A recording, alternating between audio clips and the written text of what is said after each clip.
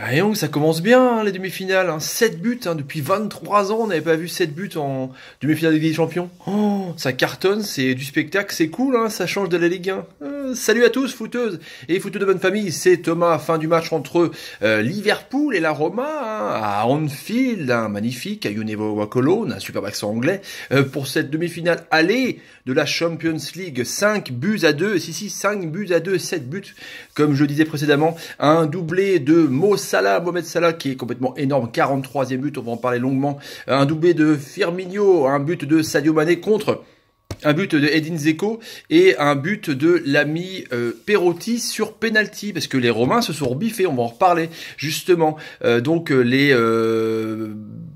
Anglais quand même qui prennent une option pour la, demi-finale retour hein, qui jouera à l'Olympico, mais on a vu justement dans ce stade-là les Romains mettre trois pions au Barcelonais, donc tu dis que c'est chaud patate. Hein. Euh, les 5-10 euh, minutes un peu de euh, relâchement des joueurs de, Liverpool pourraient leur coûter cher dans l'obtention du ticket pour la finale. En tout cas, on a vu un super match de foot. Réponse au sondage sur si vous étiez donc agent ou recruteur du Paris Saint-Germain, est-ce que vous garderiez l'ami Alphonse Areola? Vous êtes 90% à dire que oui, vous êtes 90% à dire qu'Areola pour vous euh, serait le portier idéal dans les cages Réponse euh, en petit sondage à la fin de la vidéo qui je pense euh, va concerner un joueur énorme hein, qui cartonne tout. On revient sur ce match donc entre Liverpool et la Roma. Liverpool donc qui s'est un peu piqué au vif d'entrée hein, par une jolie frappe de Kolarov par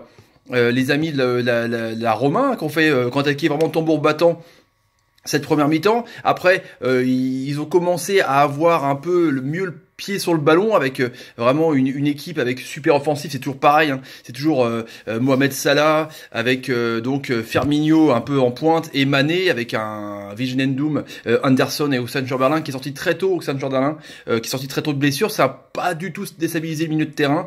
L'ancien Gunners. Et du coup, ouais ils ont mis le pied sur le ballon. Salah après qui a euh, essayé un peu de faire un peu ce qu'il sait faire, c'est-à-dire dribbler tous les joueurs, mettre un peu euh, de panique et faire euh, vraiment attirer la défense, le milieu Strootman, Derossi qui était complètement perdu dès que Mo Salah accélérait. Ça a laissé des espaces pour les autres joueurs, pour les latéraux, que ce soit Alexander Arnold ou Robertson. Et du coup, ben il y a eu une belle action où Mané a été lancé euh, euh, face à euh, Allison, le gardien, et du coup il a loupé son face à face. Mané aussi a tiré au-dessus de la transversale, il a marqué un but hors jeu. Sadio Mané, tu t'es dit qu'il marquera jamais.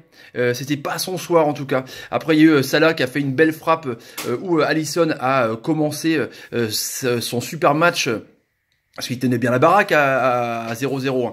Une belle action où donc euh, euh, Salah a fait une frappe, Allison l'a dégagé. Une belle action aussi où euh, il y a eu une grosse frappe vraiment assez exceptionnelle de l'ami Anderson. Et puis donc Allison était toujours là. Allison donc le gardien où Paris Saint-Germain serait dessus. Le gardien de la Roma qui est très très bon. Et du coup après bah, il y a eu une action de classe avec ballon récupéré dans l'autre jeu où ça pareil la Roma n'était pas très très bien. Euh, vraiment le, milieu de terrain euh, de Liverpool avec le jeu à la, à la clope vraiment direct, c'est-à-dire phase de transition. Dès qu'il récupère les ballons, c'est boum devant avec des trois de devant. C'est ce qu'il faisait pareil avec euh, Aubameyang euh, quand à l'époque de Dortmund. On connaît son, jeu vraiment direct rapide. Hein, il faut des flèches devant.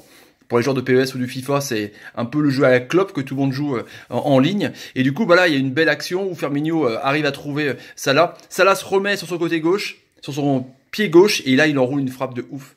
Et là, euh, barre transversale, ça rentre. Laisse tomber quoi. là, là, là, Après pareil, euh, encore euh, les, deux qui ont vraiment fait une, belle action. Il se trouve bien, hein, Fermino, ce qu'on ne parle jamais. Il fait un peu le, travail de sap en numéro 9, un peu le, bon lieutenant du joueur Fury Class, vraiment à côté en tout cas.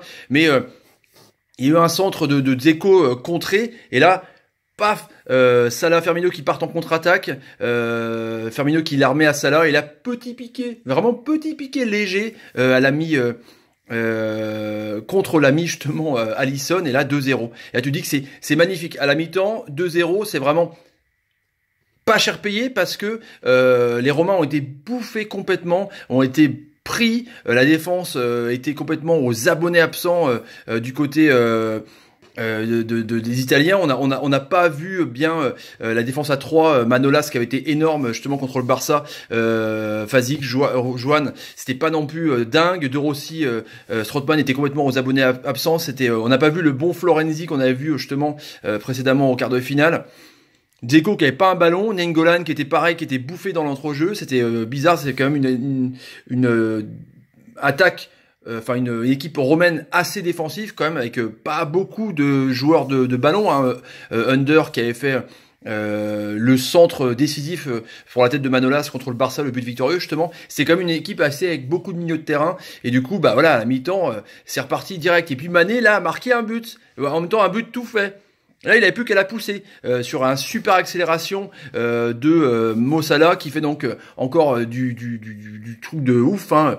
Euh, percute côté droit, il est énorme. C'est ça qui fait un peu penser à Messi avec euh, son scotchage de ballon, c'est assez incroyable. Et du coup, bah, il a réussi à carrément prendre la défense et servir Mané qui a marqué son but. Donc 3-0, tu dis que c'est c'est cuit quoi. Et là, c'est c'est continu, ça continuait avec euh, la, Alexander Arnold qui en, une action sur le côté droit fait une petite pichenette pour vraiment pour décaler parfaitement à la limite du hors-jeu Mohamed Salah qui pareil par côté droit attend bien, fixe son défenseur, réaccélère et euh, fait un centre caviar sur Firmino. Et après la Milner, euh, l'excellent milieu de terrain de Liverpool, euh, on va reparler de lui parce que du coup il a relancé la Roma. Et ben là, il fait un centre et puis Firmino se lève plus haut que tout le monde. Van Dijk était aussi euh, plus haut que tout le monde, mais la défense, elle dormait. Elle regarde le ballon passer. Allison, il, voit 5-0, quoi. Tu dis que là, contre Maribor, 7-0. Contre le Spartak, pareil. Euh, contre City, 3-0.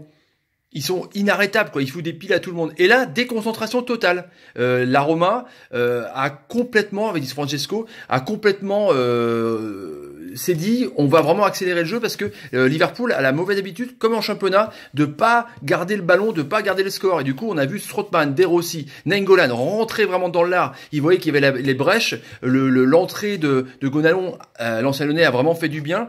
Et du coup, il a commencé à avoir des contres. Il a commencé à avoir des petites erreurs techniques. Il a commencé euh, à avoir euh, euh, une équipe qui baisse de pied. La sortie, mine de rien, de Mohamed Salah a fait beaucoup parce que Mohamed Salah, et je vous dis, il aimante le jeu sur son côté droit quand il est même en meurtre de jeu derrière les attaquants. vu que c'est c'est Messi, ça fait 10 ans qu'il est là. Mohamed Salah, pour ceux qui regardent la première ligue, ça fait peut-être deux ans qu'il est complètement énorme. Il a progressé de ouf, quoi. Donc, du coup, c'est pas qu'il euh, qu'il est euh, moins euh, euh, laissé de côté, c'est que du coup, vu que c'est peut-être un danger nouveau, bah du coup les défenseurs sont un peu pris de court et du coup ils se mettent tous sur lui. Et bah ça a laissé des espaces. Ça là a été donc vraiment l'élément indispensable de l'équipe. On a vu les supporters commencer à bader et puis il a commencé à avoir des contres sur une magnifique ouverture de Nengolan que j'adore. Euh, contrôle poitrine de Zeko qui trompe Allison 5-2, 5-1 justement. Euh, et là, bah, sur euh, sur un, une frappe de Nengolan, justement encore lui qui s'est vraiment réveillé, qui a senti qu'il y avait vraiment du combat physique à faire parce qu'il était vraiment en dedans jusque là, a fait une frappe. Milner, le pauvre, il se met en plein milieu, il la touche à moitié du flanc ici, ça rebondit là.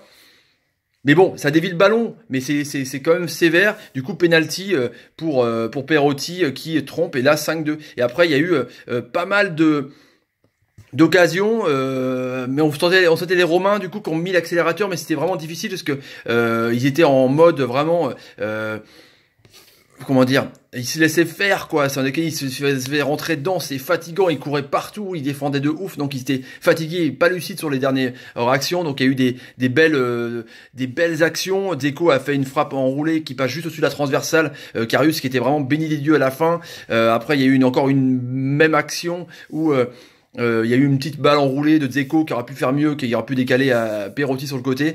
Et du coup, après, il y a, euh, voilà, euh, ça s'est fini, mais 5-2. Di Francesco peut être content.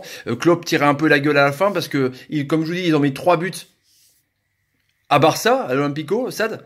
Et du coup, bah là, il y a 5-2. Il peut remettre 3 buts.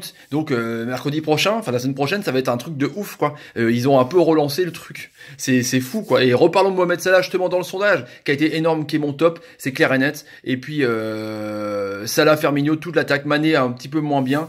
Et euh, Doom, qui est énorme. Et du côté de la Roma, bah, j'ai aimé l'abnégation et vraiment le, la persuasion. Enfin, le mec qui a donné Ingolan, qui qui a rien lâché, qui s'est réveillé et qui a été énorme. Et, euh, sondage du soir, les amis, pour vous, Mohamed Salah mériterait-il le Ballon d'Or? Pour vous, Mohamed Salah mériterait-il le Ballon d'Or? Réponse demain après le Bayern. Real qui sera, j'espère, du même acabit, avec du spectacle de ouf. Allez les amis, si vous avez envie de vous abonner, vous connaissez la chanson, hein, pour tout le monde, on est bateau à 1500 abonnés. Donc, n'hésitez pas sur le petit bouton rouge à mettre des pouces quand Mohamed Salah vous fait des bonnes passes, hein, deux buts, deux passes, des trucs de ouf, à euh, partager la vidéo et activer la petite cloche pour avoir les, dernières euh, notifications. Voilà les amis, ciao, je vous laisse sur ce match de fou. Euh, ciao, ciao, salut, salut, ciao, ciao, salut, salut, ciao, ciao. 7 buts, 7 ciao, c'est incroyable. Salut. ça commence bien. Il est énorme, Mo Salah. Il est énorme.